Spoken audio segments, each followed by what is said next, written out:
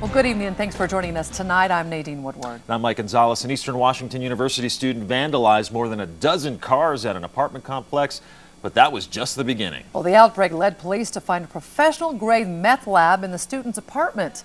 KXLY4's Aaron Luna was in Cheney and he stopped by.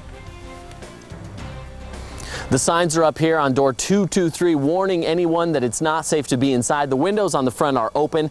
Here's the back balcony. You can see a window open here and the door to the balcony is also open, hoping to air out any possible remnants of chemicals left inside the house.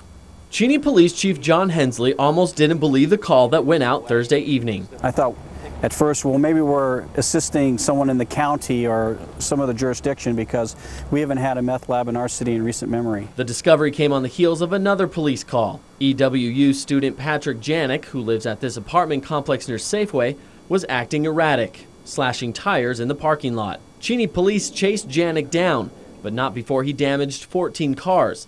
They then returned to talk to his roommate, who initially made the 911 call. The roommate invited officers in. When the officers got inside, they noticed this uh, lab equipment and chemicals around. To the roommate, it was just Janik's homework. The student that was making the meth was a chemistry student, and he routinely made uh, experiments in the apartment. To officers, it was a lot more. A professional grade cooking set. Well, that's one of the reasons why the neighbors didn't smell anything or hear anything because the the suspect knew what he was doing. Police believe Janik stole at least some of the chemicals from the university. They also found meth in various stages of production along with finished product, but no evidence that Janik was dealing. You know, that's a lot of methamphetamine for one person to use. The physics major is now facing several felony charges. Police believe his roommate wasn't involved. In fact, he's been very cooperative and helped us along the way.